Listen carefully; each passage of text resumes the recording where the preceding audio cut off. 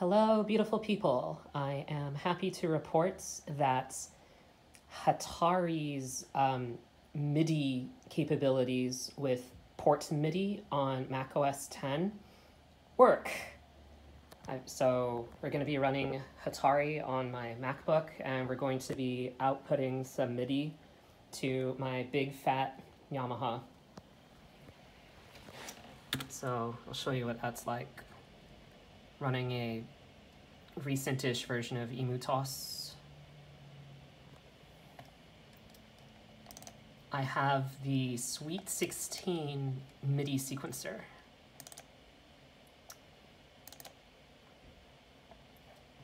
And we can use it to load one of the sample songs that it came with.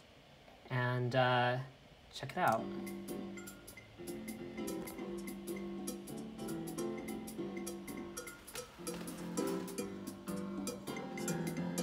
You can see I can, you can see it's legitimate.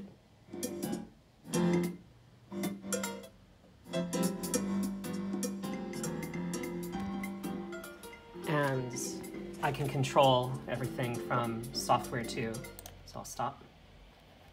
I'll play.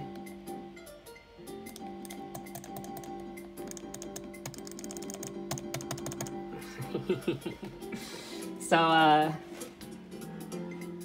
yeah, it works. Output, at least. I haven't tried input yet.